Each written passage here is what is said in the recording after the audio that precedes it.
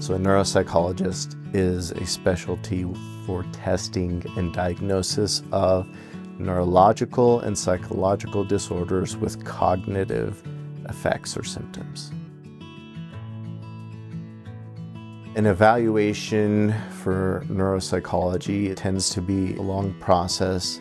There's an interview in which I get a good feel for what a person's concerns are or review their medical records with them and find out what do they need to know and what do their doctors need to know to clarify what diagnosis is present or what's going on so that we can plan effective treatment.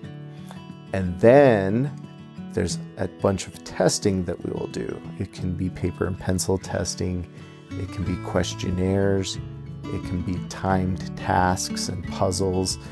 Anything that your brain can do, there's probably a way for us to measure how you do it, how effective you are at it, and that can help inform what process may be going on in your brain or in your life that's affecting how you're functioning.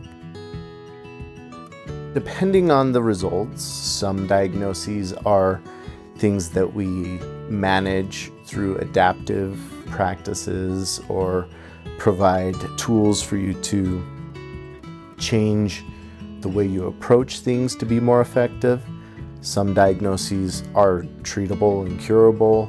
Some things are not treatable or not curable, or we can at least do things to minimize the negative effects in a person's life. So it depends on the actual outcome of the evaluation and what diagnosis is made, what we will do to treat a person. Whether it's the answer is we can do a lot or we can do a little, there's usually something we can do to help improve quality of life and maximize your functioning for as long as possible.